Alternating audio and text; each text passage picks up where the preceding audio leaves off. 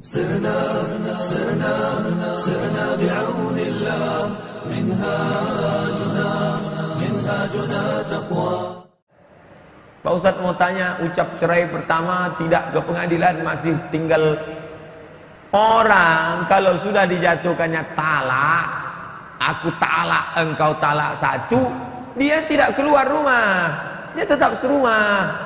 Dan macam-macam dengan talak tiga. Kalau sampai kau talak tiga dia, maka dia tak halal bagimu sampai dia nikah dengan orang lain. Hati berbolak-balik. Dulu yang kau benci, sekarang kau paling cinta mau balik dengan dia. Tapi agama melarang, muncullah nikah Cino buto. Dicarilah Cino-Cino yang buto zaman dulu. Nah, dicari, eh Cino buto, ya nikah sama ini ya. Hmm, tapi yang kau pegang-pegang dia. Bayar nikah. La'anallahul muhallil wal muhallalah. Allah melaknat perempuan laki-laki yang menikah tahlil. Ini namanya nikah tahlil.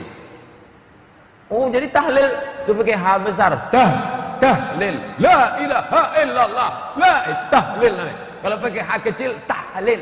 Nikah tahlil menghalalkan. Menghalalkan. Ini kan haram bini ini. Yang disuruh nikah dengan ini. Haram itu hukumnya. Nikah tahlil itu haram. Kau nikahi istriku, ku kasih kau 3 juta, tapi yang kau apa-apakan habis itu kau cerai. Bisa. Ada film judulnya Talak Tiga. Begitu disuruhnya kawannya, Ustaz nonton ini mana? Di Garuda Airlines. Disuruhnya, ah, rupanya jatuh cinta betulan dia. Ha, habis. Tamat riwayat.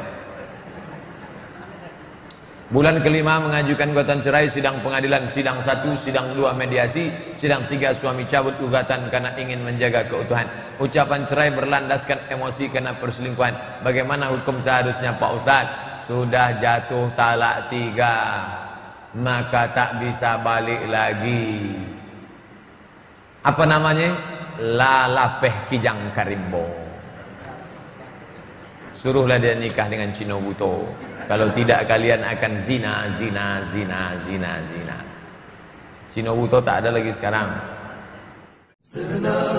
سرنا سرنا بعون الله. منهاجنا منهاجنا تقوى.